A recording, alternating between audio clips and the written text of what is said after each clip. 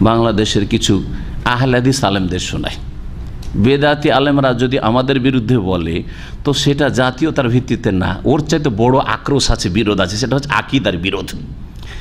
কিন্তু আপনাদেরকে দূরে সরানোর জন্য বা মুসলিম জাতির মাঝে ঘৃণা ছড়ানোর জন্য, আরে, ও তো ইন্ডিয়ান ওর কথা কেন শুনবেন? ওরা যদি এই কথাটি বলে, তো তাদের একটা অসৎ উদ্দেশ্য রয়েছে। কি উদ্দেশ্য?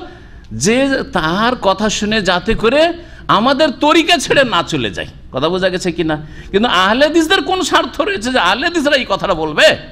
এটা হচ্ছে প্রশ্ন। কিন্তু আহলেদিস আলেমদের দুই একটি কন্ডিশন শোনাই আপনাদেরকে। রিয়াজ, যে এক ভাই আছেন শামসুদ্দিন। ওকে গিয়ে একজন মাদানি দায়ী বলছে, গত বছরের ঘটনা, তার আগের বছরের ঘটনা, এগুলো কয়েকটা ঘটনা আছে।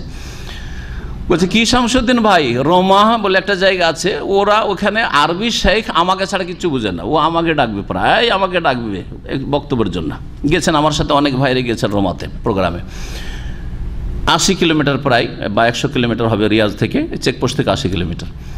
তো ওখানে প্রোগ্রামে যায়, প্রায় সময় যায়। ওখানে শামসুদ্দিন ভাই, লেখাপড়া জানেন না, কিন্তু মাশাল্লাহ দাওয়াতি কাজ। ওখানকার সৌদি শেখেরা বলে যে, শামসুদ্দিন, বড় বড় দায়িত্ব চাইতে ভালো কাজ করে।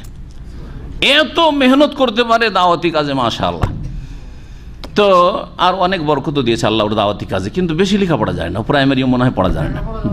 একেবারে জানে না জি হ্যাঁ। তো যাই হোক ওই শামসুদ্দিনকে একজন মাদানি গিয়ে বলছে কি শামসুদ্দিন ভাই কখন থেকে আপনি ইন্ডিয়ান হয়ে গেলেন? হ্যাঁ? আপনি ইন্ডিয়ান কেন হয়ে গেলেন? বলছে কেন ভাই? কখন থেকে ইন্ডিয়ান হয়ে গেলাম? আমি তো বাংলাদেশি লোক কত ইন্ডিয়ান হয়ে গেলাম? বলছে আপনি ইন্ডিয়ান শেখ ছাড়া আর কাউকে ডাকেন না তো আপনি তো ইন্ডিয়ান হয়ে গেছেন। আপনি তো ইন্ডিয়ান হয়ে গেছেন।